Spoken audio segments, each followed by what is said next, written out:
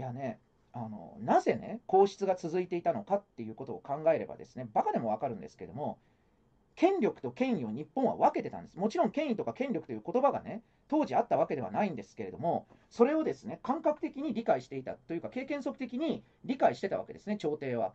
だからこそね、その権力は征夷大将軍が持っていいですよと。ただ権威はこう朝廷が持っているべきなんだというですね。だから征夷大将軍というね、その役職も朝廷から下されるものなんですよね。朝廷から下されて、で、征夷大将軍についた者が日本を統治する。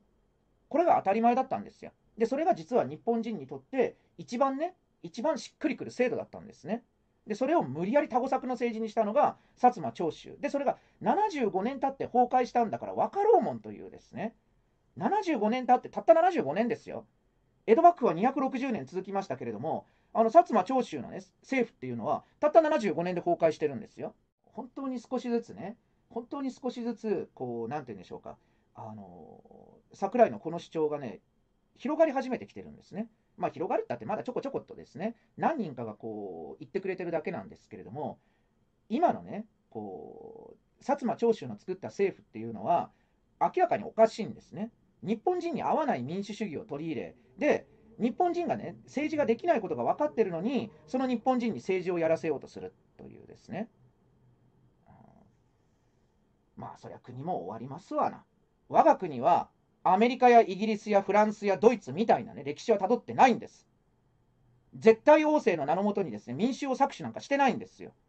その歴史をね、完全に無視して、彼らと同じですね、民主主義、これを取り入れる。いや、だからね、はっきり言いますけど、欧米人からすれば極東の猿がですね、あの我々のね、民主主義をね、取り入れた。ああ、よかったよかったはい、行こう行こう行こう行こうってやるわけですね。うん、所詮極東の猿扱いですから、彼らにしてみりゃね。うんいや、皆さんね、これ聞いたら腹立つでしょうけれども、あの結局彼らのね、こう、なんていうの、もう差別意識っていうかね、差別感っていうのを取り除くことはできないんですね。うんだからこそね、こう、なんていうの、彼らと対等にと言ってもですね、そもそも対等に扱えないでしょうが。だから1億2000万の国民が養えるんです。ところがですね、ところが、今や日本ですね、徐々に徐々にですねその食糧危機というのが目の前に押し寄せてきております